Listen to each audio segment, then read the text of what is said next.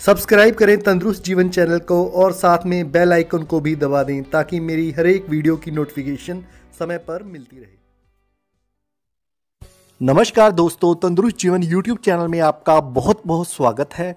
आज के वीडियो में गर्भस्थ शिशु के हलचल के बारे बात करेंगे कि प्रेगनेंसी के कौन से हफ़्ते आप शिशु की हलचल को महसूस कर सकती हैं, कौन से हफ़्ते शिशु की गतिविधियाँ बढ़ जाती हैं, और कौन से हफ़्ते कम हो जाती हैं, और कब आपको शिशु का हिलना डुलना ज़्यादा महसूस होता है।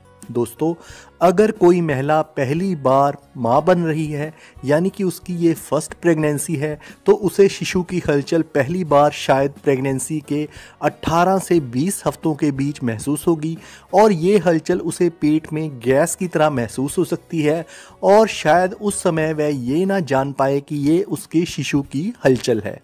जबकि जो महिला दूसरी बार गर्भवती होती है, उसे शिशु की हलचल कुछ पहले ही महसूस होने लगती है। यानी कि दूसरी बार गर्भवती होने वाली महिला को तो ये हलचल प्रेगनेंसी के 16 से 18 हफ्तों के बीच ही महसूस होने लगती है।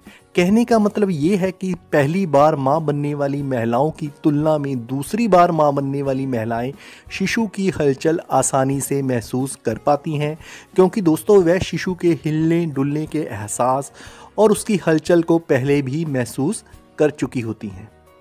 ज़्यादातर महिलाओं को प्रेगनेंसी के 20वें हफ़्ते के आसपास शिशु की हलचल महसूस होती है और 24वें हफ़्ते के बाद प्रेग्नेंट महिला बेबी किक यानी कि शिशु के लात मारने के एहसास को महसूस कर सकती है। ऐसा नहीं है कि प्रेग्नेंट महिला हर बार शिशु की हलचल महसूस करे, क्योंकि अधिकतर शिशु गर्भवती महिला के सोने के दौरान ज़्यादा हलचल करते हैं। ज़्यादातर प्रेग्नेंट महिलाओं को बेबी किक का एहसास प्रेगनेंसी की दूसरी और तीसरी तिमाही के दौरान होता है और प्रेगनेंसी के 26वें हफ़्ते तक महिला को शिशु की हिचकियाँ भी महसूस हो सकती हैं। दोस्तों, अगर किसी महिला को प्रेगनेंसी के 24वें हफ़्ते तक शिशु की कोई हलचल महसूस ना हो तो ऐसी स्थिति में वह डॉक्टर से संपर्क करे। ऐसे में डॉक्टर आपकी जाँच करेंगे और शिशु की हलचल ना होने के कारण का पता लगाएँगे। डॉक्टर अल्ट्रासाउंड करके शिशु की गतिविधियों पर नज़र रख सकते हैं। दोस्तों, वैसे आपको बता देना चाहता हूँ कि गर्म में शिशु प्रेगनेंसी के सात से आठ हफ़्ते के बीच नॉर्मल गतिविधियाँ शुरू कर देता है। प्रेगनेंसी के नौवें हफ़्ते के आसपास शिशु हिचकी लेना शुरू कर सकता है, अपनी बाजू व टांग हिला सकता है, दसवें हफ़्ते में अपना सिर झुका और घुमा सकता है, ग्यारहवें हफ़्ते में शिशु जमहाई ले सकता है, लेकिन तब आप उसकी हलचल महसूस नहीं कर पाती, क्योंकि उस समय शिशु काफ़ी छोटा होता है और उसकी गतिविधियों को पहचान पाना पाना मुश्किल होता है, लेकिन प्रेगनेंसी के 18वें हफ़्ते के बाद उसकी हलचल धीरे धीरे इतनी मज़बूत हो जाती है कि महिला उसे महसूस करने लगती है। दोस्तों, प्रेगनेंसी की शुरुआत में शिशु की हलचल का एहसास कम होता है, लेकिन प्रेगनेंसी की स्टेज बढ़ने के साथ ही शिशु की हलचल भी बढ़ती जाती है। प्रेगनेंसी के 20 से 24 हफ़्ते के दौरान शिशु की गतिविधियाँ धीरे धीरे बढ़ने लगती हैं। 24 से 28 हफ़्ते के दौरान आप अपने शिशु की हिचकियाँ भी महसूस कर सकती हैं। इस दौरान शिशु जब हिचकियाँ लेगा तो आपको धक्का लगने जैसा महसूस हो सकता है। प्रेगनेंसी के उनतीसवें से इकतीसवें हफ़्ते के आसपास शिशु की हलचल छोटी, मगर अधिक स्पष्ट रूप से आपको महसूस होगी, क्योंकि इस दौरान शिशु के बढ़ने से गर्भ में उसके लिए जगह कम पड़ने लगती है। दोस्तों प्रेगनेंसी के 32 से 35वें हफ़्ते के दौरान आपको शिशु की हलचल तेज़ महसूस होगी, लेकिन शिशु की गतिविधियाँ धीरे धीरे कम होती जाएँगी, क्योंकि जैसा कि आप सब जानते हैं कि शिशु गर्भ में एमनियोटिक फ्लूड यानी कि पानी की थैली में घूमता है, लेकिन इस दौरान शिशु का आकार बढ़ जाता है और अब उसके पास ज़्यादा घूमने के लिए जगह नहीं होती, इसलिए इस दौरान उसकी गतिविधियों की संख्या धीरे धीरे आपको कम होती महसूस होगी, लेकिन शिशु जो भी हलचल करेगा, वह आपको काफ़ी तेज़ महसूस होगी।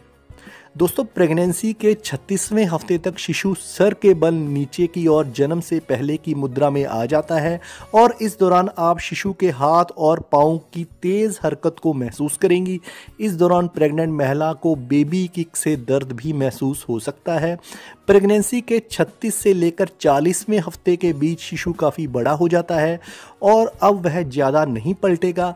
इस दौरान प्रेग्नेंट महिला अपनी पसलियों के नीचे किसी भी तरफ़ शिशु के पाँव की की किक को महसूस कर सकती है और इस दौरान शिशु महिला की श्रोणी में दबाव डालता है। दोस्तों, गर्भस्थ शिशु बाहर की गतिविधियों पर अपनी प्रतिक्रिया देता है। बाहर क्या आवाज़ आ रही है? प्रेग्नेंट महिला क्या खा रही है? इन सभी पर शिशु हलचल के ज़रिए प्रतिक्रिया देता है। प्रेगनेंसी के 20वें हफ़्ते में शिशु हल्की ध्वनियाँ सुन सकता है। जैसे जैसे प्रेगनेंसी की स्टेज बढ़ती है, शिशु तेज़ आवाज़ भी सुनने लगता है। गर्भवती महिला जो भी भोजन खाती है, वह एमनोटिक फ्लूड की वजह से शिशु को उसका स्वाद मिल जाता है। स्वाद पसंद आने या ना पसंद आने पर शिशु प्रतिक्रिया देता है। आपके लेटने की पोजीशन भी शिशु की हलचल को प्रभावित करती है और जब प्रेग्नेंट महिला बाई करवट लेटती है तो उस समय शिशु की हलचल ज़्यादा होती है और दोस्तों, ऐसा ब्लड सप्लाई बढ़ने के कारण होता है। शिशु की हलचल इस बात का भी प्रमाण होती है कि गर्भ में वह स्वस्थ है और उसका विकास अच्छे ढंग से हो रहा है। ऐसा नहीं है कि शिशु हर बार ही हरकत या गतिविधियाँ करे तो ऐसे में चिंता करने की कोई बात नहीं है। कई बार शिशु सोया होता है या आराम कर रहा होता है तो इस दौरान उसकी हरकत महसूस नहीं होती। दोस्तों, जैसा कि मैंने पहले बताया कि प्रेगनेंसी के आखिरी दिनों में शिशु की गतिविधियाँ कम हो जाती हैं, जब बच्चा पूरी तरह से विकसित हो जाता है तो उसे गर्भ में किक मारने की जगह नहीं मिल पाती और अगर प्लेजेंटा आगे की तरफ़ आ जाए तो भी इससे शिशु की हलचल कम हो सकती है, लेकिन ये नॉर्मल है और इसमें घबराने की कोई बात नहीं है। दोस्तों, कई बार ऐसा होता है कि दिन में महिलाएँ ज़्यादा व्यस्त होती हैं और उन्हें बच्चे की हलचल ज़्यादा महसूस नहीं हो पाती। लेकिन जब वह रात के समय आराम कर रही होती हैं तो शिशु शांति के माहौल में सक्रिय होने लगता है और लात मारता है और इस समय महिला उसकी हलचल को अच्छी तरह महसूस कर सकती है। शिशु की गतिशीलता को समझने के लिए दोस्तों आप कुछ तरीके भी आजमा सकती हैं। ऐसे में प्रेग्नेंट महिला करवट के बल लेट जाए और अपने पेट के नीचे सहारे के लिए तकिया वगैरह लगा ले और कुछ घंटों तक ध्यान दे। इस दौरान उसे अलग अलग कम से कम 10 हलचल महसूस होनी चाहिए। अगर उसे लगे कि बच्चा गर्म में हलचल कम कर रहा है तो ऐसे में वह घबराए नहीं। आराम से बैठे और शांत हो जाए। कुछ मीठा और ज़्यादा ठंडा लिक्विड जूस वगैरह पिए और अपने पैरों को ऊपर करें। ठंडे और मीठे एहसास से शिशु हलचल शुरू कर सकता है और ऐसा करने से शिशु हिचकी या लात मारने की हलचल कर सकता है। तेज़ शोर करें लाउड म्यूज़िक बजाएँ और देखें कि शिशु कोई प्रतिक्रिया करता है या नहीं। और दोस्तों, अब बात करेंगे कि आपको किस स्थिति में डॉक्टर के पास जाना चाहिए। अगर प्रेगनेंसी के 24वें हफ़्ते तक शिशु की कोई हलचल महसूस ना हो तो ऐसे में अवश्य डॉक्टर से संपर्क करें। जैसा कि मैंने पहले बताया कि प्रेगनेंसी के 32 हफ्तों के बाद शिशु के पास ज़्यादा हिलने डुलने के लिए जगह नहीं होती, इसलिए हो सकता है उसकी गतिविधियों में थोड़ी कमी आए, मगर यदि शिशु की रोज़मर्रा की हलचलों में कोई बदलाव नज़र आए तो अपने डॉक्टर से बात करें।